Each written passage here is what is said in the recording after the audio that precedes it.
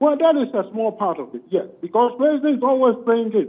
Look what happened to, who was it? One MP, uh, is it Arhin? Arhin's hometown. President goes over there, and is it Dan Cook or someone like that, who is, uh, was uh, uh, an MP who was uh, beaten by NDC. Yes. Now he's running again. You go to this town, that guy is running too. He's also NPP. He used the MP. He the MP. So, You if I understand there- you properly, you are making reference to the Director of Communications at the uh, Office of the President, Eugene Arhin, Arhin, yes. and also George Andah, who actually Andah, was yes. previously Member of Parliament for that area. Yeah. Exactly. Now Mm-hmm. you are standing there. George Andah is standing there. And then you are saying that people should remember uh, Arhin because he is the one who reminded you that the road has not been fixed and they, they should vote for him. How can you say such a thing? You, you can't say such a thing. You can, at the best you can do is keep quiet, may the best man win. They are both in the same party. How can you go and say such a thing? He is dividing the party. It's the same thing. He buys, he buys position for his voice.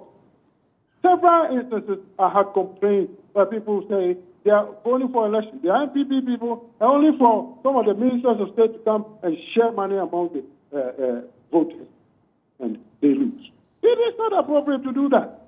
When you do that, you are not bringing unity in the party. This is why people are so upset. It means he has captured everything. Look, he came in, he, he, he, appointed uh, uh, the former former general secretary. He, he appointed him, and then uh, what's his name? Dan Botwe. No, not not Dan Botwe. The, the, the young man who just lost to uh, JFK. He Okay. No, him. no, just John Boadu, actually. John Boadu, yes, John Boadu appointed him, he acted, then he ran and won. But once you acted, it means you're going to win because the whole party is behind, he won, right? Then he brought in uh, the chairman. The chairman, I was there at Koforidua, I'm telling you, it was an auction. He bought, he was the highest bidder, so he won. Where did he get the money from? He won. So now you have the general secretary, you have the chairman. Who else? Almost all the functionaries, the, the, the, the executives, his hands are on them. So nobody could say anything.